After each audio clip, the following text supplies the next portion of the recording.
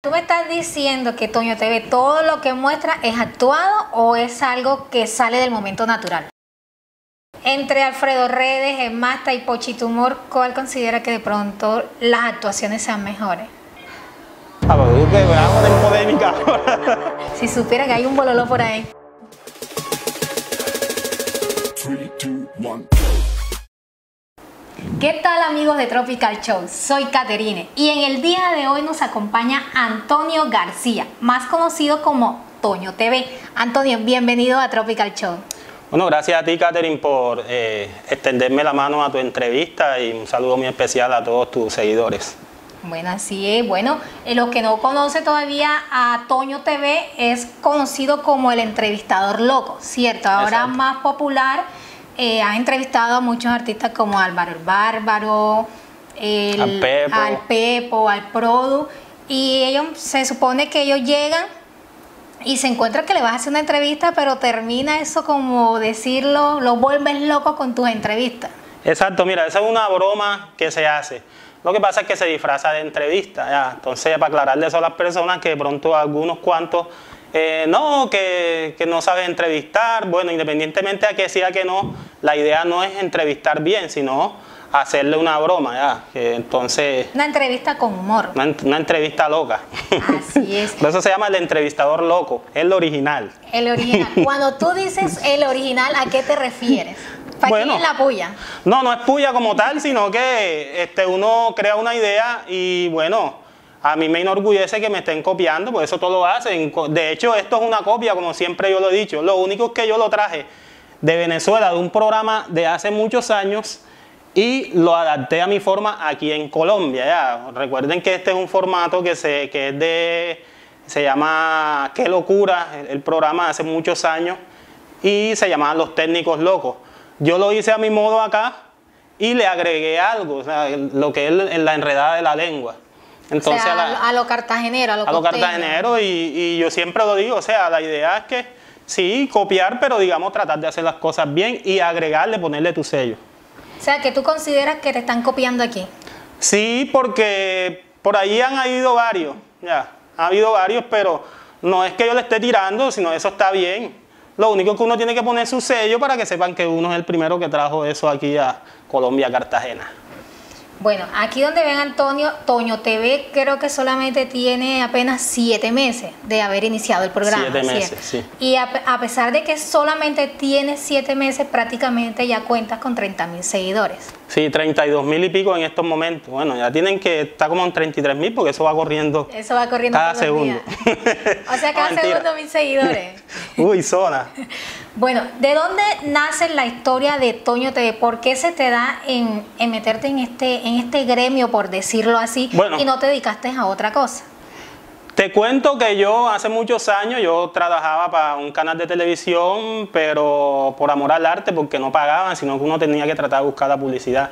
Yo nunca creí en las redes sociales. O sea, que tú ibas a tu trabajo era como prácticamente como para que me vean que estoy trabajando, pero no te estaba generando. Exactamente, me gustaba y siempre quería estar delante de cámaras, pero me ponían detrás de cámara porque eso era lo que se necesitaba en el momento, que era camarógrafo. Pero yo siempre me metí como con la aspiración de estar delante de cámara, ya sea haciendo entrevistas o también yo ingresé con un programa de humor con un saludo muy especial con El Pollo, eh, que él tenía un programa de humor y me incluía ahí como, como actor, pero eso duró eh, poco tiempo. Poco tiempo. Entonces el tema de las redes sociales, yo, lo- yo, yo cuando estaban empezando, yo no creía en eso. Ah, Después, bueno, ya me desvinculé de todo eso, empecé a trabajar, me fui para Medellín, eh, empecé a emprender acá en pandemia porque ahí me- yo estaba en cero, pero cuando llegó la pandemia fue cuando mejor, mientras a los demás le iban mal, entre comillas, a mí con un negocio me fue bien, gracias a Dios, entonces lo que hice fue, bueno, ya,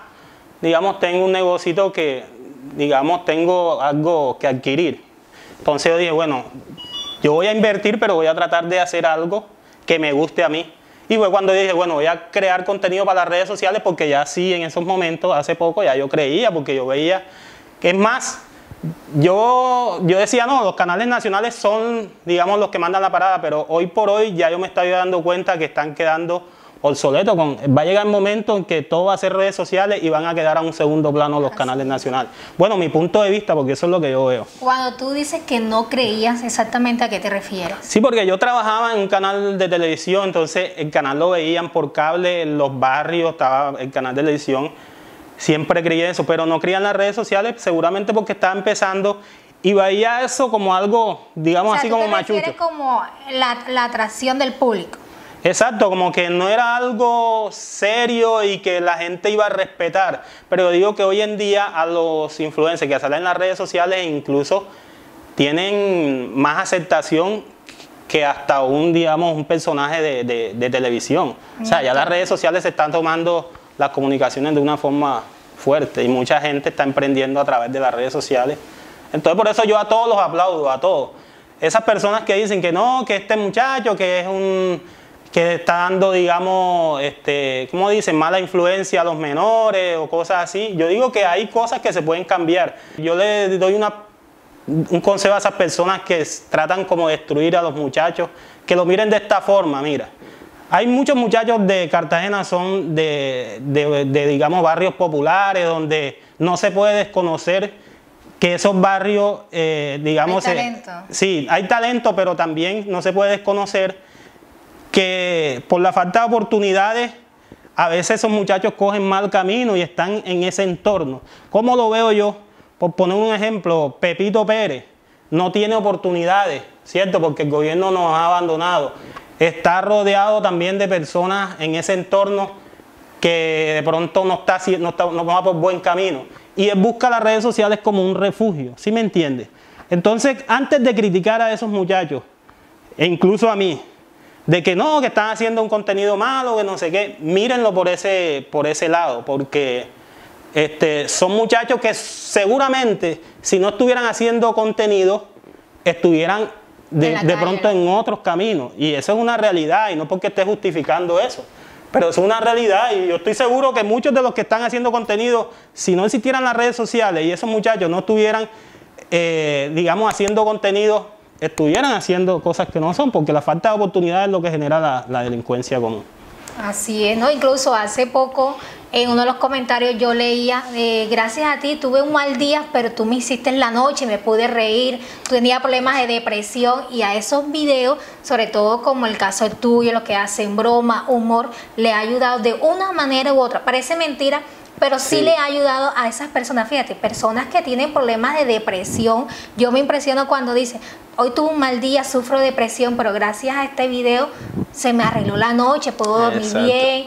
Y o sea, le cambia un poco la mentalidad. ¿En algo- qué influye? No sé, pero le ha influido en la vida de ellos. Es algo como impresionante que yo no me lo creo. O sea, a mí muchas personas me han escrito, ya, este, gracias por alegrarme el día. Yo nunca, la verdad, nunca pensé eso, que una persona me iba a escribir a decirme eso. O sea, ese es el, el pago del trabajo. Bueno, cuando tú inicias en el proceso, bueno, esa parte es lindo, pero hay que tener en cuenta también el sector monetario.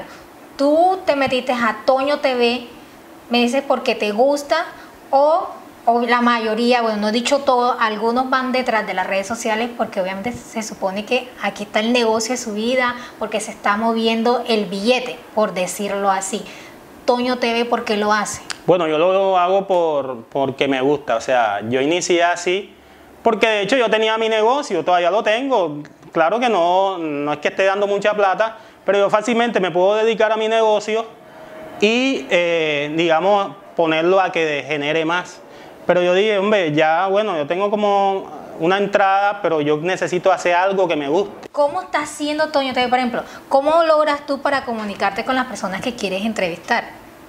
Ah, ok, bueno, todas tienen una forma de ser diferente. Yo creo que tú lo debes tener claro porque No, porque es que Toño TV tiene siete meses y siete meses pero relativamente es una persona nueva en, en el ambiente y llegarle a, a tantas personas, no sé, tienes algún contacto, tú los llamas, ellos te buscan, ¿cómo es, cómo haces tú ahí? Bueno, yo te comento que yo al principio no hacía el entrevistador loco, sino que me iba a la calle y hacía nada más, se me traba la lengua, que es lo que yo incluyo en el entrevistador loco, pero nada más Vamos hacía a eso. mostrarle cómo es eso que traba en la Ah. lengua, porque lo- por si alguno no, no siga aún tu página, sepa, bueno, ¿y este de qué me está hablando?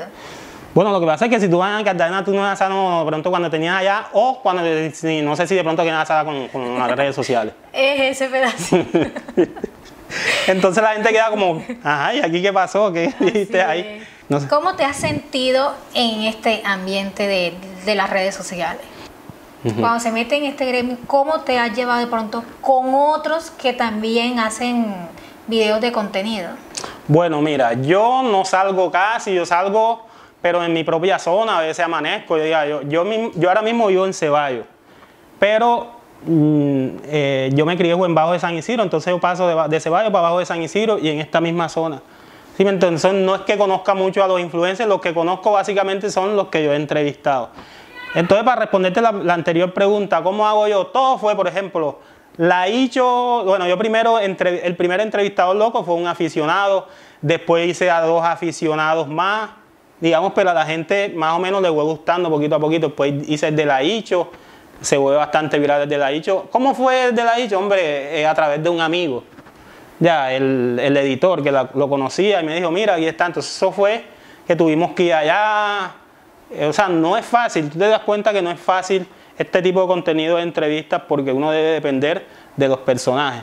Sí me entiende, pero no es que yo tenga un método para conseguir, yo digo que cuando uno hace las cosas bien, Dios también lo Se ayuda y lo las van dando poco las cosas poco a poco. O sea, tú me estás diciendo que Toño TV todo lo que muestra es actuado o es algo que sale del momento natural. La mayoría son reales, o sea, yo soy una persona que a mí me gusta ser sincero.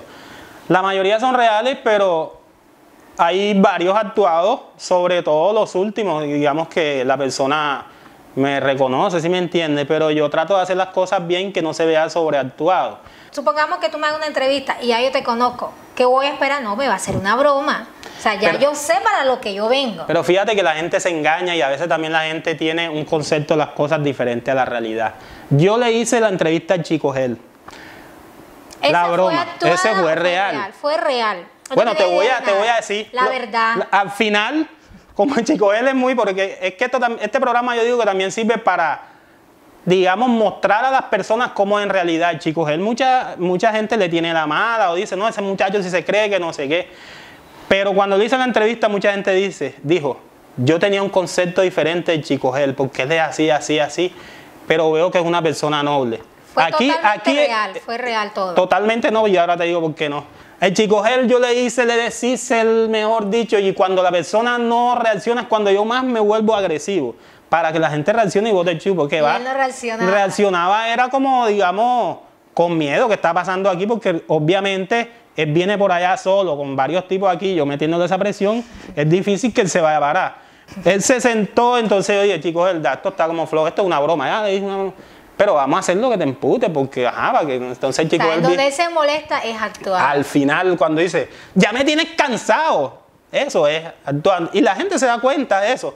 Yo había entrevistado mucho a Nando Blas y la gente dice, ajá, se supone que te tienen que conocer todo el mundo. No, fíjate que ya yo le había hecho a Nando Blas. ¿Quién es el único que no te conoce? dilo, dilo. Entonces, No lo dices tú, lo digo yo. ya te vas a poner en esas páginas. por- No, ¿quién, quién, quién no te conoce? yo no sé. Si supieran que hay un bololo por ahí, pero eso queda para otra entrevista. Sí. Bueno, hace poco hubo uno que creo que fue como uno de los boom, que fue con el, el Pepo y el Prodo. La verdad, aquí, en Tropical Show. ¿Todo fue real o fue actuado? Todo fue actuado. Todo- fue un acuerdo mutuo entre ustedes tres. Ah, Claro. aquí está la aclaración. Ya. Porque yo me encontré con el Pepo, yo nunca me, me había visto con él y él me conoce. Él me dijo, no, yo veo tus videos, me gusta. Pero ven acá. Fíjate, tú aceptas de que tu broma, algunas, no todas, No todas. son Por algunas ejemplo, la de la dicho es real. reales. La de la dicho es real. La de la, la de la dicho es más, uno de los primeros videos. Lo que pasa es que yo lo monté en una página que tenía más seguidores, se fue como por 700 mil. Después la monté nuevamente hace poquito y se va reencauchando, ¿sí me entiendes? ¿Qué opinas de los muchachos eh, que hacen bromas, los otros creadores de contenido? ¿Qué concepto le tienes tú a ellos? Porque es prácticamente lo mismo, ambos hacen bromas, pero lo tuyo es en entrevista y lo de ellos en la calle. ¿Qué Mm. concepto le tienes? Un- pongamos un ejemplo, Pochito Humor. Bueno, yo Pochito Humor no lo conozco personalmente, yo desde acá como un seguidor que lo veo, yo veo que, o sea, a mi modo de ver, todas son actuadas. Y la gente sabe, ellos saben que la gente sabe, pero ese es el contenido. Y ahí todos saben. ¿Mm? Y ahí todos saben. Pero ¿qué, qué pasa? Y, y estoy seguro que te tú le preguntas y te lo va a decir.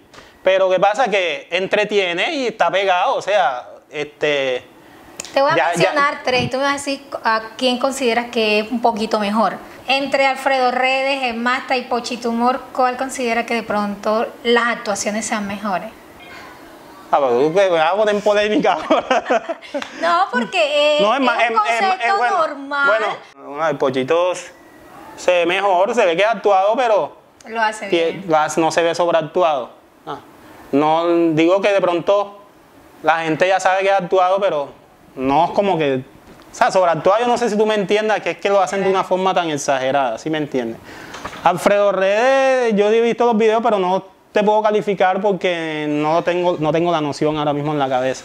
Pero no, no, todos son buenos ya. Bueno, Antonio, este, una última cosita. Regálale a nuestros seguidores una pequeña biografía de quién es Antonio García, cómo te representas como persona. Considero que tengo mi carácter cuando tengo que tenerlo y también soy una persona muy amistosa, ¿sí me entiende? Las personas que me conocen saben que, que digamos, me gusta eh, charlar con todo el mundo, muy amigable, ya, transparente, que si este, yo te digo que te tengo que decir algo, te las digo, te digo las cosas de frente, ya, y no me, no me gusta la hipocresía. Sí, bueno, y no- tus redes sociales a nuestros seguidores. Bueno, eh, Toño TV en Facebook, en, en YouTube, en Toño TV también. Y en las demás redes sociales me consiguen como Tono TV Oficial, aunque no manejo mucho esas redes sociales. Bueno, y a nuestros seguidores de Tropical Show, recordarles seguirnos en Facebook como Tropical Show, en Instagram como Tropical Show Oficial. Papá, y en entonces, YouTube, en, en Tropical Show TV. Tiene- no, ¿por qué no nos regaña? Tiene una sola... Ya, gracias, Antonio. Bueno, vale, con mucho gusto.